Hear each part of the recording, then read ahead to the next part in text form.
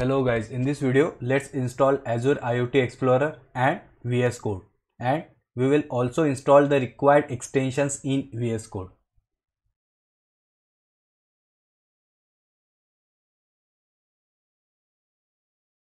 Now using Azure IoT Explorer we can view the devices in IoT Hub.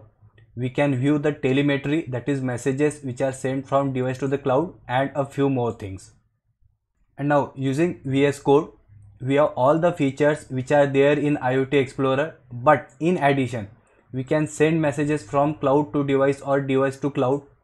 We can view all these messages. We can work with device twin.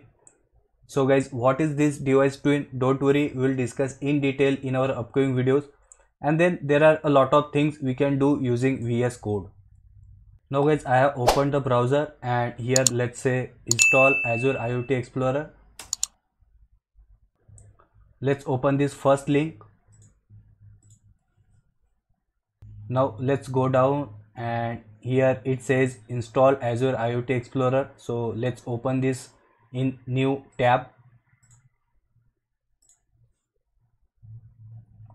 Here let's go down and here let's click on the second file that is .msi so let's click on this. And you can see the download has been started. And here you can see the installer has been downloaded. Now double click on this. And it's getting installed. So simply complete this installation process and you can see IoT Explorer has been installed and it should look something like this. And now let's install VS Code. So again we are in browser and here let's say install Visual Studio Code. Let's open this first one.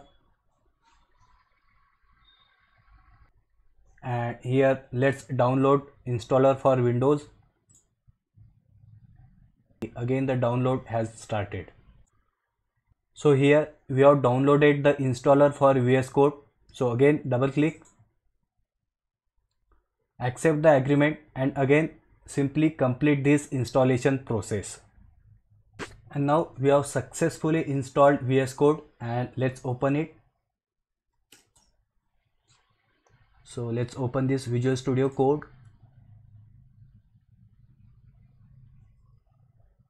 And now please follow my mouse. Let's click on this. That is extensions.